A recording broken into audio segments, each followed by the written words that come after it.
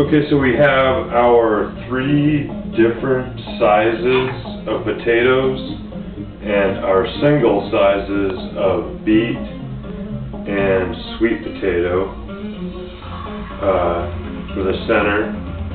Beet and sweet potato, and here's my pucks. Uh, russet potato. So I have two smalls, a medium, and my large here. Uh, I've set the depth of my mandolin already to somewhere around a half a uh, millimeter. Um, I use one of those to calibrate it. How do you know? How do you know when you're thin enough? You know when you're thin enough because your slice of potato at that point will be thin enough that you can read a cookbook through it. So that's how thin you want it. I mean, extremely so. Oops. I would say, uh, hopefully that reads on camera. You can see those letters. That's how thin I want it. So I take my large potato and simply get as many pieces as I can. Um, the only mandolin I would substitute for a nice French one like this uh, is made by that same Swiss company.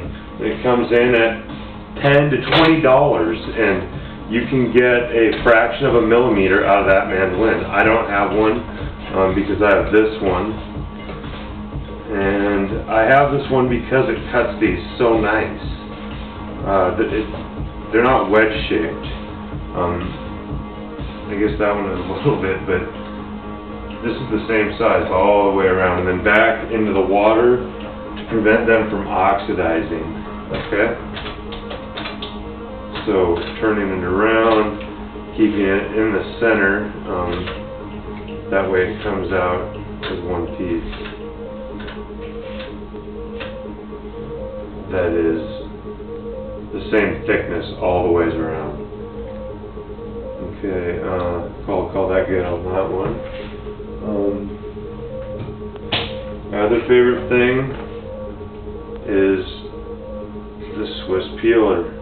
You can just take off such curved and curvaceous pieces of um, vegetable that it's really nice for that. So I'll stack all these back up, making sure they're getting a good soaking in this salt water. To keep them separate. I leave the top of the skin on this for grip. I mean, um, that's really nice. I can grab that easily. So this is the medium-sized potato. And uh, with the top on it, with the skin on the top of it, it makes um, a really nice grab point. So there's that. Go to the skin and put that in my scrap bucket. Stack all these flower or uh, these petals up together and put them in the salt water. Okay. Next move. My small cylinders, again, the Swiss peeler taking off the bottom, leaving the top to grab. So nice for the way it comes around and um, just shaves off a corner or deep cut in the veggie.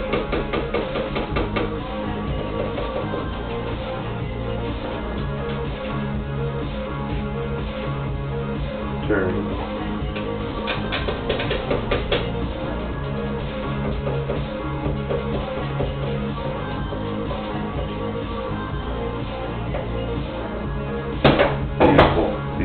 Center, or the last part before the decorative pieces in these things. So there's that. Got my three different sizes of tater in here. Separate.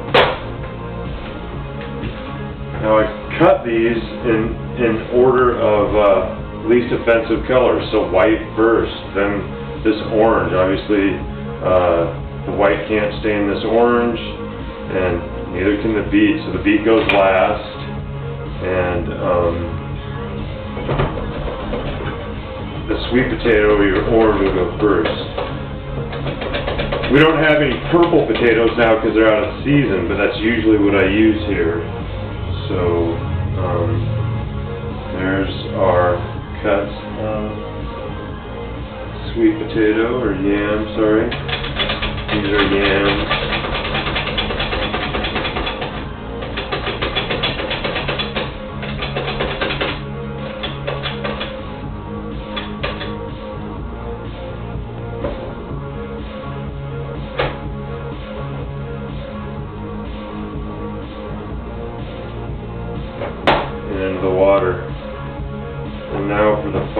Beat, I'm going to, uh, again, put down a paper towel so that I don't have to wash this entire cutting board. Um, just barely feel the bead back into itself there. Nice, beautiful purple bead.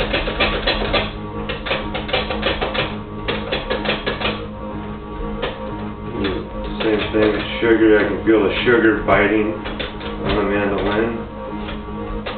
Holding that thing, I'll call that good. And look at those beautiful cross sections of bead that will top these. Okay.